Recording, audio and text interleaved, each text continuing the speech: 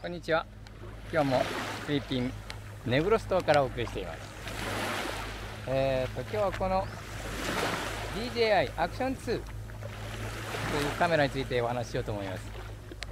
これまでのフィリピンの動画すべてこのアクション2で撮ってるんですがどうでしょう？悪くないと思います、えー、カメラ部分は防水ですし本当は海水はあんまり良くないんでしょうけどともかく海の中につけても撮影はできます。画質もそんなに悪くないと思いますし僕はいつもあのまあ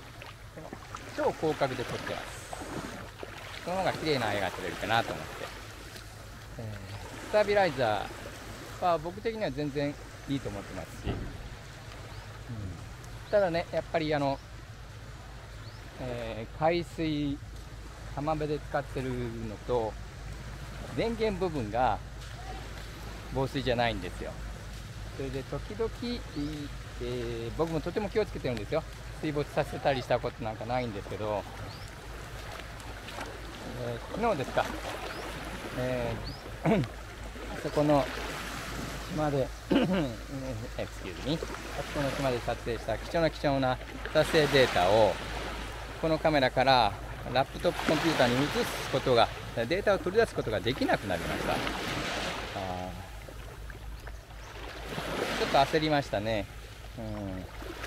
うん、もうなかなかねああいう島に行って、えー、撮影してそれをもう一回撮り直すなんてなかなかできないですからね、うん、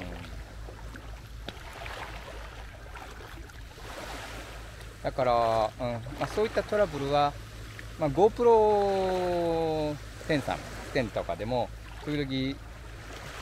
撮影したデータが消えちゃったとかいうお話を聞いたりしますし、うん。まあ、アクションカメラに限らずともかく電子機器にトラブルはつきものですけども時々そういうことがこの僕のアクションカメラ DJI アクション2にもありました。でも総じて僕は気に入ってます。使いやすい。小さいのがやっぱいいですね。こう手に握ってそのまま海にドブンと。入れますし、うん、あえっ、ー、と磁気シールドっていうんですか？後でタダでくれてるやつ。あれをつけたままで、えー、海に入ってでその後ねやっぱり、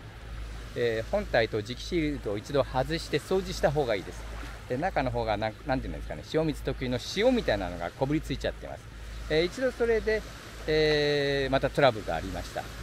ですから毎晩、えー、磁気シールドを外してえー、きれいに、